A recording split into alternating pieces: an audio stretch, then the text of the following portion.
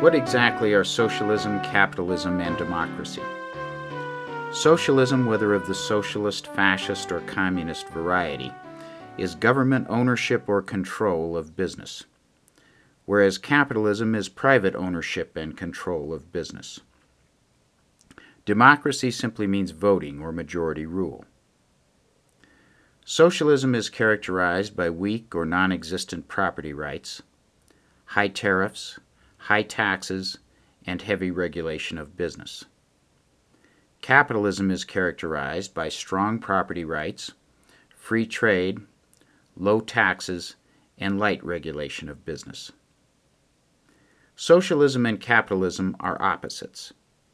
All the countries of the world fall along a continuum from most socialist with unlimited governmental control of the economy to most capitalist with less governmental control of the economy.